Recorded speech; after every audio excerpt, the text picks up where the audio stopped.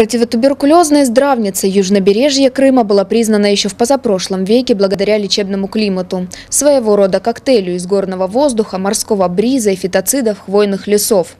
На протяжении последних десятилетий противотуберкулезные здравницы, обладающие завидными парками и пляжами, планомерно уничтожались, а их территория застраивалась. Ощутимый удар в начале нулевых нанесла так называемая оптимизация под началом вице-премьера Дмитрия Табачника. На территории одного из них теперь находится особняк Виктора Медведчука, в котором он принимал своего кума Владимира Путина. В 2013 году крымские регионалы намерились пустить земли на ЮБК под застройку, а противотуберкулезные санатории перенести в Старый Крым. Земель на южном берегу Крыма, которые наиболее привлекательны для инвесторов, к сожалению, нет. Должны очень четко рассчитать, какова целесообразность нахождения этих объектов, есть ли в них смысл, каков медицинский эффект от того, что эти объекты существуют, при этом государство не может финансировать в должном объеме эти объекты, либо все-таки провести оптимизацию этих здравниц. Э, для того, чтобы соединить возможно их в одно. После аннексии Крыма все здравницы были экспроприированы, однако денег на их содержание так называемого правительства Аксенова не нашлось. Несколько десятков санаториев хотели передать в подчинение Москвы, а противотуберкулезные перепрофилировать. На сегодняшний день таких объектов у нас 13. И, конечно, если санаторий находится на бюджетном финансировании, то он прежде всего должен выполнять государственный заказ республики. Слава богу, в республике Крым нет такого количества больных. Однако фтизиатры утверждают, что заболеваемость туберкулезом среди жителей Крыма превышает общероссийские показатели на 20%, и ежедневно 5 крымчан заболевают различными формами туберкулеза. Год спустя на сайте Минздрава Крыма в перечне здравниц находим уже только семь санаторных учреждений, имеющих в названии слово «противотуберкулезный». Однако по факту эти санатории утратили свой лечебный профиль и негласно перепрофилируются в обычные пансионаты. Убедиться в этом можно, посетив сайты здравниц. Самый известный, первый в Европе детский противотуберкулезный санаторий имени Боброва был знаменит тем, что в нем оперировали больных костным туберкулезом.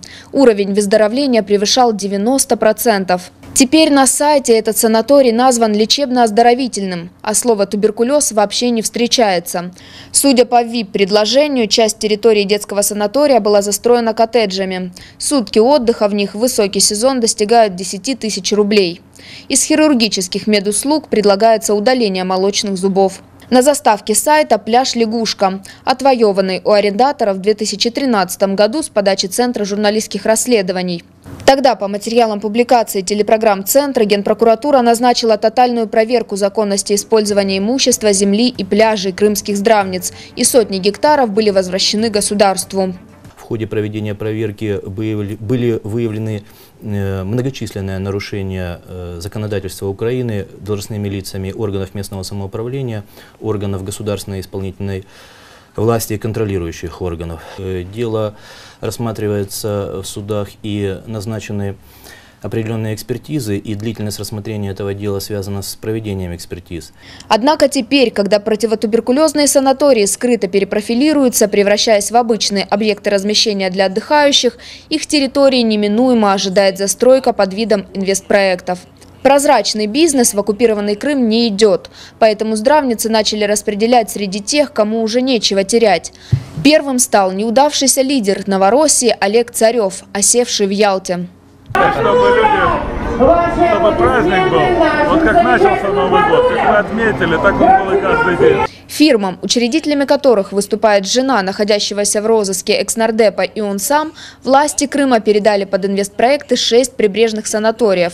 «Радуга», «Юбилейный», «Ветеран», «Детский санаторий», «Айтадор», бывшее имение великого князя Михаила Романова, а также пансионаты «Днепр» и «Хитовец». Вместе со здравницами семейным фирмам Царева также незаконно была передана и земля, в том числе в частную собственность. Не исключено, что фирмы Царевых выступают в данном случае в роли прокладок для последующих продажи тем, кто из-за санкций опасается покупать ворованное имущество в Крыму.